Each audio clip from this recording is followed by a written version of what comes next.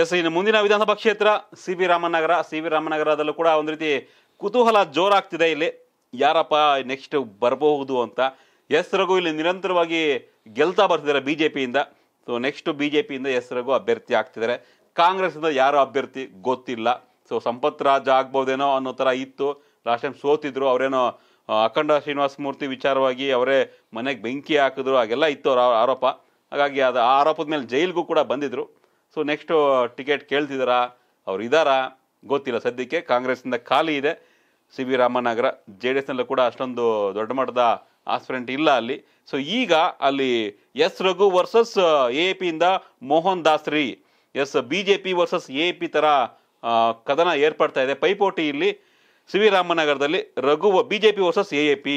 ಎಷ್ಟರ ಮಟ್ಟಿಗೆ ಅಂದರೆ ಎ ಪಿ ಮೋಹನ್ ದಾಸ್ರಿ ಬೆಂಗಳೂರಿನಲ್ಲೇ ಮನೆ ಮನೆಗೆ ಹೋಗಿ ಜನನ ಕಟ್ಕೊಂಡು ಎಷ್ಟು ರೆಸ್ಪಾನ್ಸ್ ಬರ್ತಾ ಇದೆ ಅವ್ರಿಗೆ ಅಂದರೆ, ಓ ಎ ಪಿ ಇಷ್ಟರ ಮಟ್ಟಿಗೆ ಬೆಂಗಳೂರಲ್ಲಿ ಕಮಾಲ್ ಮಾಡುತ್ತಾ ಅನ್ನೋ ಥರ ಇದೆ ಸಿ ಬಿ ರಾಮನ್ ನಗರದಲ್ಲಿ.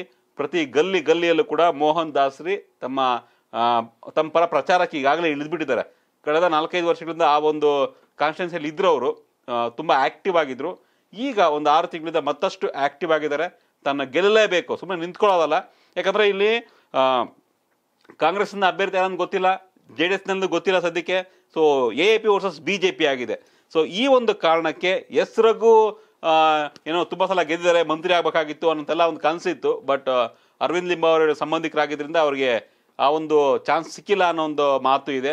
ಕಾನ್ಸ್ಟೆನ್ಸಿ ಚೇಂಜ್ ಆಗುತ್ತಾ ಇಲ್ವಾ, ಇವೆಲ್ಲವೂ ಕೂಡ ಚರ್ಚೆ ಆಗ್ತಾ ಇದೆ. ಸೊ ಎಸ್ ರಘು ವರ್ಸಸ್ ಅಂದರೆ S Raghu B J P versus A A P ನಮ್ಮ ಕರ್ನಾಟಕ ಟಿವಿಯ ಈ ಒಂದು ಜನವರಿ ಸರ್ವೆ ತುಂಬ ಜನಕ್ಕೆ ಸಾಕ್, ಶಾಕ್ ಆಗ್ಬೋದು. ಹೀಗೆ ಈ ಈ ರೀತಿಯ ರಿಸಲ್ಟ್ ನಿರೀಕ್ಷೆ ಮಾಡಬಹುದಾ? ಸಿ ವಿ ರಾಮನಗರದಲ್ಲಿ ಅಂತ ಎಸ್, ನಮಗೂ ಶಾಕ್ ಆಯಿತು. ಕೆಲವೊಂದಿಷ್ಟು ಟ್ರೆಂಡ್ ನೋಡಿದಾಗ ರಿಪೋರ್ಟ್ಸ್ ನೋಡಿದಾಗ. ಮೋಹನ್ ದಾಸ್ರಿ ಎ ಎ ಪಿಯಿಂದ ಏನು ಅಭ್ಯರ್ಥಿ ಆಗಿದ್ದಾರೆ? ಅಭ್ಯರ್ಥಿ ಆಗ್ತಿದ್ದಾರೆ. ಅವರು ಈ ಸಿ ವಿ ರಾಮನ್ ನಗರದಲ್ಲಿ ನೆಕ್ ಟು ನೆಕ್ ಫೈಟ್ ಇದೆ ರಘು ಜೊತೆ, ಬಿ ಜೆ ಪಿ ಅಭ್ಯರ್ಥಿ ರಘು ಜೊತೆ.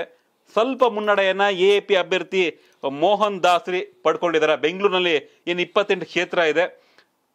ಎ ಎ ಪಿ ಅವರು ಎಲ್ಲ ಕ್ಷೇತ್ರದಲ್ಲೂ ಕೂಡ ಅಭ್ಯರ್ಥಿನ ಆಗ್ತಿದ್ದಾರೆ ಸ್ಟ್ರಾಂಗ್ ಆಗಿ ಆಗ್ತಿದ್ದಾರೆ. ಅದರಲ್ಲೂ ಕೂಡ ಈ ನಮ್ಮ ಇಪ್ಪತ್ತೆಂಟು ಕ್ಷೇತ್ರದಲ್ಲಿ ಮೊದಲನೇ ಒಂದು ಮುನ್ನಡೆ ಎ ಎ ಪಿಗೆ ಮೋಹನ್ ದಾಸರಿ ಸಿ ವಿ ರಾಮನ್ ನಗರ ಕ್ಷೇತ್ರದಿಂದ ಅಲ್ಪ ಮುನ್ನಡೆಯನ್ನು ಪಡೆದುಕೊಂಡಿದ್ದಾರೆ ಎ ಎ ಪಿಯಿಂದ. ಶಿವು ರಘು ವರ್ಸಸ್ ಅಂದರೆ B J P versus A A P Congress ಇಲ್ಲ, ಜೆ ಡಿ ಎಸ್ ಇಲ್ಲ ಇಲ್ಲಿ, ಸಿ ವಿ ರಾಮನಗರ. ಸಾಕಷ್ಟು ಕ್ಷೇತ್ರದಲ್ಲಿ ಈ- ಥರ ಆಗ್ತಾ ಇದೆ ಬೆಂಗಳೂರಿನಲ್ಲಿ. ಯಾರು ಬಲಾಢ್ರಿರ್ತಾರೋ ಗೆದ್ಕೊಂಡು ಬರ್ತಿದ್ದಾರೋ ಅವ್ರಿಗೆ ಅಪೋನೆಂಟ್ ಈಗ ಬಿ ಜೆ ಪಿಯಿಂದ ತುಂಬ ಬಲಾಢ್ರಿದ್ರೆ ಕಾಂಗ್ರೆಸ್ ಅಭ್ಯರ್ಥಿ ಇರಲ್ಲ ಕಾಂಗ್ರೆಸ್ ಅಭ್ಯರ್ಥಿ ಬಲಾಢ್ರಿದ್ರೆ ಪಿ ಅಭ್ಯರ್ಥಿ ಇರಲ್ಲ ಅಲ್ಲೆಲ್ಲವೂ ಕೂಡ ರೀಪ್ಲೇಸ್ ಆಗಿ ಎ ಪಿ ಬರ್ತಾ ಇದೆ. ಎಸ್ ಖಂಡಿತ. ಈಗ ಸಿ ವಿ ರಾಮನಗರದಲ್ಲಿ ಸಿಟ್ಟಿಂಗ್ ಎಂ ಎಲ್ ರಘು ಅವರು ಮೂರನೇ ಬಾರಿ ಈ ಕ್ಷೇತ್ರದ ಶಾಸಕರು. ಈ ಕ್ಷೇತ್ರದಲ್ಲಿ. ರಾಮನಗರದಲ್ಲಿ ಮೂರನೇ ಬಾರಿ ಗೆಲ್ತಾ ಇರೋದು. ಇಲ್ಲಿ ಇನ್ನೊಂದು ವಿಚಾರ ಅಂತಂದ್ರೆ ಕಳೆದ ಬಾರಿ ಸ್ಪರ್ಧೆ ಮಾಡಿದವರು ಯಾರು ಮತ್ತೆ ಸ್ಪರ್ಧೆ ಮಾಡ್ಲಿಕ್ಕೆ ಆಸಕ್ತಿ ತೋರಿ ಕೆಲಸ ಮಾಡ್ತಾ ಇಲ್ಲ. ಅದು ಆಪ್ಗೆ ಅನುಕೂಲ ಆಯ್ತು. ಮೋಹನ್ ದಾಸರಿಗೆ ಇಲ್ಲಿ ಅನುಕೂಲ ಆಗಿದೆ ಅದೇ ವಿಚಾರ. ಮೊದಲನೇದಾಗಿ ಸಂಪತ್ ರಾಜ್ ಕಳೆದ ಬಾರಿ ಕಂಟೆಸ್ಟ್ ಮಾಡಿ ಐವತ್ತಾರು ಸಾವಿರ ಒಟ್ಟು ತಗೊಂಡಿದ್ರು. ಐವತ್ತೆಂಟು ಸಾವಿರ ರಘು. ಹನ್ನೆರಡು ಸಾವಿರದಲ್ಲಿ ರಘು ಗೆದ್ದಿದ್ರು. ಇಲ್ಲೇ ಸಂಪತ್ ರಾಜ್ ವರ್ಕ್ ಮಾಡಿದ್ರೆ ರಿಸಲ್ಟ್ ಮಾಡಬಹುದಾಗಿತ್ತು ಮಾಡ್ಬೋದಾಗಿತ್ತು. ಅಂಡ್ ರಮೇಶ್ ಪಿ ರಮೇಶ್ ಇಪ್ಪತ್ತು ಸಾವಿರ ಹೊಡ್ಕೊಂಡ್ರು ಜೆ ಡಿ ಎಸ್ ಇಂದ. ರಘುಗೆ ನಲವತ್ನಾಲ್ಕು ಪರ್ಸೆಂಟ್ ಒಟ್ಟು ಮೂವತ್ತೈದು ಪರ್ಸೆಂಟ್ ಸಂಪತ್ ರಾಜ್ಗೆ ಹದಿನೈದು ಪರ್ಸೆಂಟ್ ರಮೇಶ್ಗೆ. ಹಿಂಗಾಗಿತ್ತು ಕತೆ. ಮೋಹನ್ ದಾಸ್ರಿ ಆಗ ತಗೊಂಡಿದ್ದು ಎರಡೇ ಸಾವಿರ ಓಟು. ಹ್ಮ್. ಎರಡು ಸಾವಿರ. ಏಯ್ಟೀನ್. ಇವ್ರು ಪಟ್ಟಿ ಬಿಡದ ಕ್ಷೇತ್ರದಲ್ಲಿ ಏನ್ ಮಾಡಿದ್ರು. ಈಗ ರಘು ವಿರುದ್ಧದ ಅಲೆ ಏನಿತ್ತಲ್ಲ ಟ್ರೆಂಡ್ ಏನಿತ್ತಲ್ಲ. ಅವ್ರು ಯಾರೂ ಬರ್ಲಿಲ್ವಲ್ಲ? ಹೌದು. ಅವ್ರು ಅನಿವಾರ್ಯವಾಗಿ ಇವ್ರ ಜೊತೆ ಹೋದ್ರು. ಯಾರೋ ಕಾಂಗ್ರೆಸ್ನವರು ದಳದವ್ರು ಏನ ಓಟ್ ತಗೊಂಡಿದ್ರಲ್ಲ ರಘು ವಿರುದ್ಧ ಏನ್ ಓಟ್ ಮಾಡ್ತಿದ್ರಲ್ಲ ಅವರೆಲ್ಲರೂ ಕೂಡ ಅವ್ರಿಗೆ ಆಪ ಆಸರೆ ಆದಂಗಾಯ್ತು ಅಂಡ್ ನಿಮ್ಗೆ ಗೊತ್ತಿರ್ಲಿ ದೆಹಲಿ ಮತ್ತೆ ಬೆಂಗಳೂರು ಸಿಮಿಲರ್ ವ್ಯತ್ಯಾಸಗಳಿಲ್ಲ. ದೆಹಲಿಲಿ ಅಧಿಕಾರಕ್ಕೆ ಬಂದಂತ ಆಪು ಅಲ್ಲಿ ಏನಿದೆ ಅದೇ ತರ ಮಾಡೆಲ್ ಇಲ್ಲೂ ಕೂಡ ಬ್ಯಾಂಗ್ಳೂರ್. ರೀಚ್ ಆಗ್ತಾ ಇದೆ. ಆಮ್ ಆದ್ಮಿ ಪಾರ್ಟಿ ಏನು ಎಲ್ರಿಗೂ ಇನ್ನು ವಸ್ತು ಏನ್ ಕತೆ ಅಂತ ಯೋಚನೆ. All segment peoples AAP reach ಆಗಿದೆ. ಎಸ್ ಆಮೇಲೆ ಪ್ರತಿದಿನ ಡ್ಯೂಟಿ ಮಾಡ್ದಂಗೆ ಇವ್ರು ಪ್ರಚಾರ ಮಾಡ್ತಾರೆ. ಹ್ಮ್ ಹೌದು.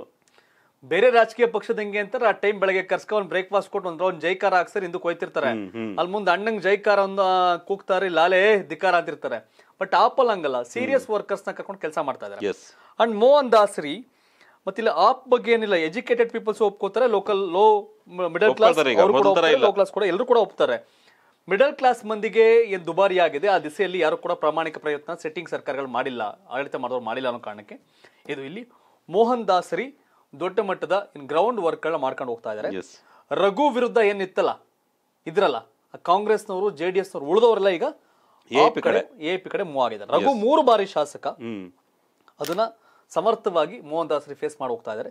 For the first time in Bengaluru ಇಪ್ಪತ್ತೆಂಟರಲ್ಲಿ ಮೊಟ್ಟ ಮೊದಲ ಬಾರಿಗೆ ಆಪ್ ಇಲ್ಲಿ ರಘು ಅವ್ರಿಗಿಂತ ಸ್ವಲ್ಪ ಮುನ್ನಡೆಯನ್ನ ಎಸ್ ಈಗ ಯಾರು ಅಂತ ವರ್ಸಸ್ ಹಿಂಗೆ ಸಿ ವಿ ರಾಮನಗರದಲ್ಲಿ ರಘು ಅಪೋಸಿಟ್ ಯಾರು ಅಂದ್ರೆ ಮೋಹನ್ ದಾಸ್ ಅಷ್ಟೇ. ಕಾಂಗ್ರೆಸ್ ಇಂದ ಯಾರು ಜೆಡಿಎಸ್ ಇಂದ ಯಾರು. ಅವ್ರಿಗೆ ಯಾರು ಗೊತ್ತೇ ಇಲ್ಲ ಯಾರು ಅಂತ. ಸೊ ಆಗ ಬಂದಾಗ ರಘು ಅವರ ಮೋಹನ್ ದಾಸರಿನ ಅಂದಾಗ ಮೋಹನ್ ಮೋಹನ್ ದಾಸ್ ದಾಸರಿ. ಹೆಚ್ಚಿನ ಪ್ರಮಾಣದ ಅಂದ್ರೆ ಕಂಪೇರ್ ಟು ರಘು ಅವ್ರಿಗಿಂತ ಸ್ವಲ್ಪ ಪ್ರಮಾಣದಲ್ಲಿ ಹೆಚ್ಚಿನ ಬೆಂಬಲ ಮೋಹನ್ ದಾಸ್. ಈ ಕಾರಣಕ್ಕೆ ಸಿ ವಿ ರಾಮನಗರದಲ್ಲಿ ಆಮ್ ಆದ್ಮಿ ಪಕ್ಷದ ಮೋಹನ್ ದಾಸ್ರಿ ಮುನ್ನಡೆಯನ್ನ ಕಾಯ್ದುಕೊಂಡಿದ್ದಾರೆ.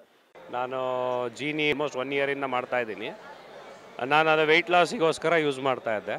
ಚೆನ್ನಾಗಿದೆ ಪ್ರಾಡಕ್ಟ್ ಚೆನ್ನಾಗಿ ಬ್ರೇಕ್ಫಾಸ್ಟ್ ತೊಗೊಳೋ ಬದಲು ಮಾರ್ನಿಂಗ್ ನಾನು ಜೀನಿ ಕುಡಿತೀನಿ ಒಂದು ಕಪ್ಪು ಸೊ ಚೆನ್ನಾಗಿದೆ. ಎನರ್ಜಿ ಲೆವೆಲ್ಸ್ ಬಂದಿದೆ.